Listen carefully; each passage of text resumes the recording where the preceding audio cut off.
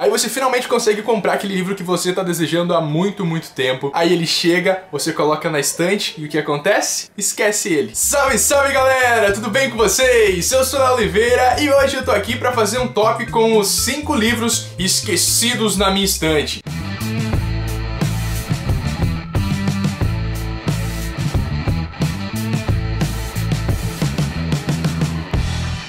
Bom, gente, o vídeo de hoje é um top 5, onde eu vou mostrar pra vocês então os 5 livros esquecidos na minha estante. E olha que foi difícil escolher assim por tempo, porque tem muita coisa encalhada na estante e o negócio da vergonha está em mim neste momento. E em quinto lugar ficou Trono de Vidro, da Sarah J. Maas. Eu ganhei esse livro no ano passado, então assim, ele não é tão esquecido na estante, se eu for comparar com os outros que tem aqui. Ele não é assim um dos mais esquecidos, mas é um livro que na época que eu recebi, eu tinha muita, muita vontade de ler, aí eu acabei colocando na estante e acabou acontecendo o quê? Passou à vontade. Eu tenho um negócio que eu não posso colocar os livros na estante. Se eu recebo, se eu compro o livro, eu tenho que deixar, tipo, mais retirado assim, não posso colocar no lugar da estante ali, porque aí acontece o quê? Vai ficando e eu vou esquecendo que eu tenho que ler o livro. E em quarto lugar, eu coloquei A Origem do Lobo, do Curtis Joblink. Eu tenho esse livro desde o ano passado e ele vai contar pra gente a história de Were Road, que é um mundo governado por Werelords, que são pessoas, homens e mulheres, que podem se transformar em serpentes, lobos, ursos, leões, e enfim, é o que eu sei, assim, bem por cima da história do livro, porque é o que diz na sinopse. E em terceiro lugar, eu coloquei Um Dia, do David Nichols. Ele tá aqui na estante há exatos dois anos. Eu ganhei ele de presente de aniversário. Assim, na época eu tava querendo muito ler o livro, porque tinha saído filme e tudo mais, mas aí acabou que a vontade passou e aconteceu o quê? Ficou na estante até hoje. Vergonha na cara, não tem. E em segundo lugar tá Sussurro da série Hush Hush da Becca Fitzpatrick. Eu tenho esse livro também há mais ou menos dois anos. Eu comprei a coleção, os três primeiros livros da série Hush Hush. Tava em promoção no Submarino, só por isso. Mas as capas são muito legais, a história também parece ser bem interessante, tem críticas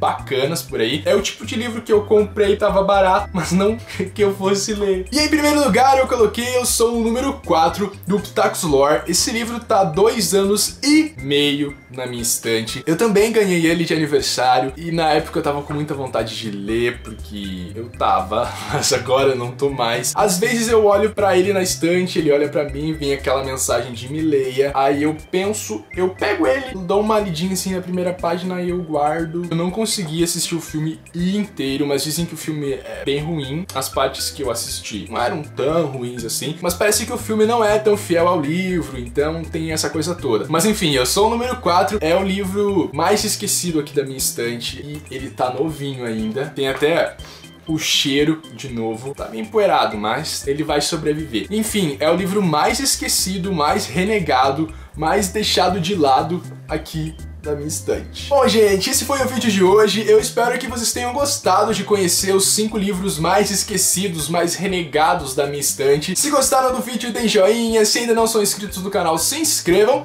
E a gente se vê no próximo vídeo. Tchau!